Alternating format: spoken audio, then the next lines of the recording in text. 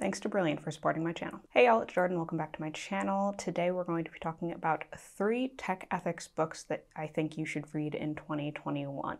These are all books that I read over the past year that I thought were really great overviews of the topics that they happen to cover and we're also approachable, so you don't necessarily need a technical background in machine learning and artificial intelligence to understand what they're talking about and why it's important to consider ethics in the realm of technology development. Consider subscribing if you're new here and want to keep learning more about artificial intelligence. And if you'd like to see what I'm currently reading, you can follow me on Instagram and TikTok, where I tend to post a little bit more of the books that I'm currently going through. Also, if you want to check out the fourth book, which I debated putting into this video, you should head on over to Nebula and check out the Nebula Plus version of this video. All right, so the first book, which I think is a great read if you're interested in learning a lot more about kind of the practical implications of artificial intelligence systems and the impacts that they've already had, is Atlas of AI by Kate Crawford. So this book came out earlier this year, actually only a couple months ago, and it's unlike most other AI popular science books I've ever read in a really good way, actually. The author, Kate Crawford, is one of the co founders of the AI Now Institute at NYU, as well as their director of research. She's also a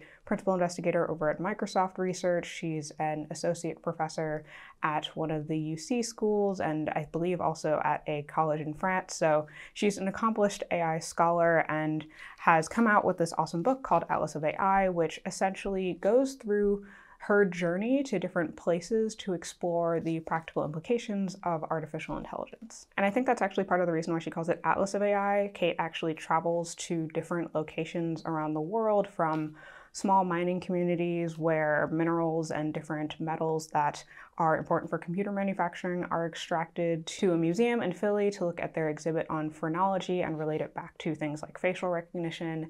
And overall, it's just a really interesting exploration of the impact that AI systems have in areas that you just might not think about a lot. Like the, the book opens with her going and visiting this small mining community. And even though hardware is something that I've actually started talking about on this channel because it's something that feels like it's often discounted in the field and just not really talked about a ton, this goes way further into that than I was even familiar with. And I learned a ton about how these systems affect people in ways that you might not even think about when we talk about things like algorithmic fairness and algorithmic bias, but also just when it comes to like building computational systems.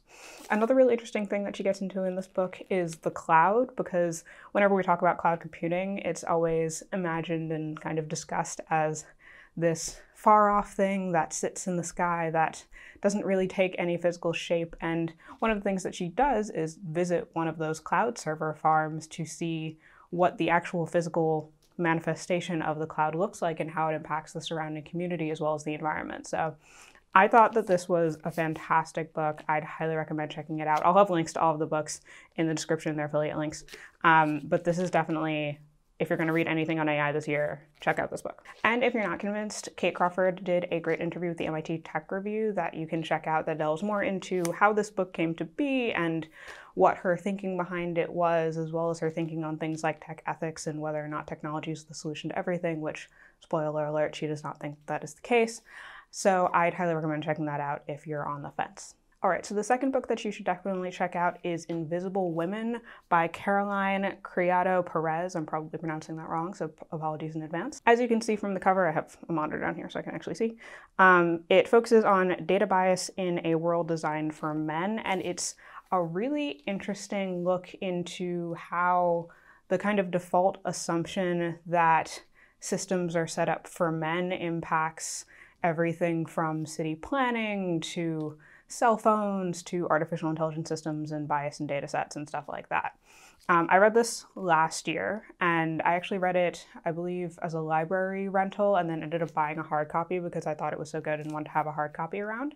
And it's just a really interesting insight into both how systems are conceived of and how the default male assumption impacts the conception of those systems, but also into the fact that often changing those systems in a way that increases gender equality can actually make the system better and may end up being more cost effective. So there's one example I think in like the first chapter first or second chapter of this book, where she recounts the story of this town in Sweden that was essentially reviewing their town's policies as part of a gender equality initiative.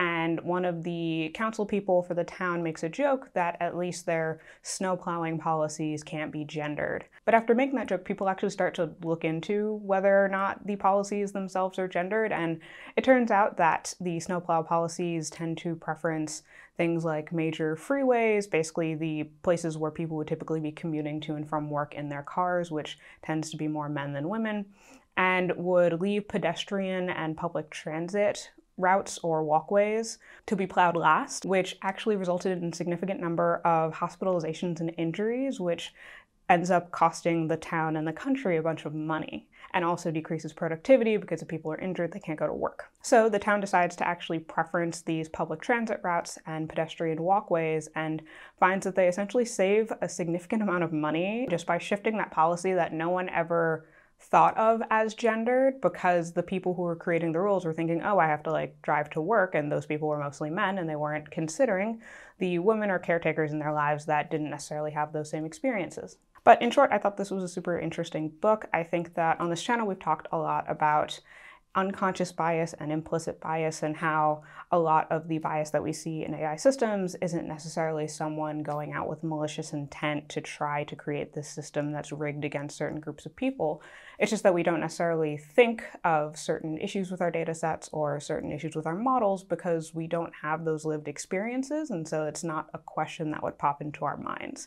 And I think that this book highlights a ton of great examples of how that is so widespread and is ingrained into so many systems within and outside of artificial intelligence, and how changing those systems is a pretty doable. Um, I think that one of the big takeaways from this was that, especially when it comes to policy, it's actually not necessarily that hard to fix them, but also that fixing them may end up creating better systems and better societies as a whole. So, book number two. Finally, the last book is Race After Technology by Ruha Benjamin. I believe this came out in 2019. I'm not actually sure. Yeah, 2019. Ruha Benjamin is a professor of African American Studies at Princeton, and she researches things including the intersection of emerging technologies and race. And essentially, this book looks to analyze the intersection of new technologies, emergent technologies, and societal hierarchies. And I think that actually similar to Invisible Women, it's a really interesting peek into how systems can be designed and can perpetuate biases unintentionally because the people in the room don't necessarily think of the use cases or the issues that might come up when it comes to unbalanced data sets or even just applications and conceptions of different models. Benjamin proposes this new concept called the New Jim Code, which shows how a range of discriminatory designs encode inequality by explicitly amplifying racial hierarchies, by ignoring but thereby replicating social divisions, or by aiming to face racial bias but ultimately doing quite the opposite. And this probably sounds like a depressing read based on that, but I think whoa, what just happened? I think that it's actually nice that the last two chapters or so focus on solutions that people might use to either identify bias in these systems or create systems that are as unbiased as possible, which, as we talked about in other videos, the definition of fairness is its own nebulous thing, as well as just engage the communities that are affected by different algorithms in the process of developing and deploying them. So I think it's a great overview of essentially algorithmic fairness issues, but I also think that it's a great primer for anyone who's interested in potentially getting involved in advocacy around policy in this area um, to get kind of a basic technical understanding of what's going on, as well as some ideas on how we might develop policies and structures that make algorithms good for everybody. And this is all to say, I think part of the reason why I made this video was to point out that there are a lot of overlapping disciplines when it comes to artificial intelligence. So if you're interested in AI policy or tech policy, you don't necessarily have to be a practitioner to get involved in it. You can come at it from different angles. However, I still would definitely recommend having some technical experience in any field that you want to enter so that you can have informed discussions and make informed choices on those topics. And if you're looking for a place to build that technical understanding, you should start with Brilliant, a website and app that has courses on everything from the basics of math, science, and computer science to quantum computing, cryptocurrencies, and machine learning. Their courses are laid out like a story, broken down into pieces so that you can tackle them a bit at a time. I've personally been chipping away at their cryptocurrency course because I'm interested in learning more about the intersections of blockchain and machine learning. The best part is there's no tests, and no grades, so you can just pick a course based on what you're interested in and get going. Feeling stuck or made a mistake? You can read the explanations to find out more and learn at your own pace. If you'd like to join me in a community of 8 million learners and educators today, click on the link in the description down below or go to brilliant.org slash Jordan sign up for free. In fact, the first 200 people to go to that link will also get 20% off the annual premium subscription. Clicking on that link also supports my channel, so thanks in advance for your support. Otherwise, if you like this video, let me know by smashing the like button and subscribing to my channel. If you want to check out more books like this, I actually have a bookshop list of them, which I will include in the description for you to check out once you get through reading these three books. Otherwise, if you want to follow my PhD life, you can do so via the vlog channel, my Twitter, TikTok, and Instagram, and otherwise, I will see you guys on Monday. Bye.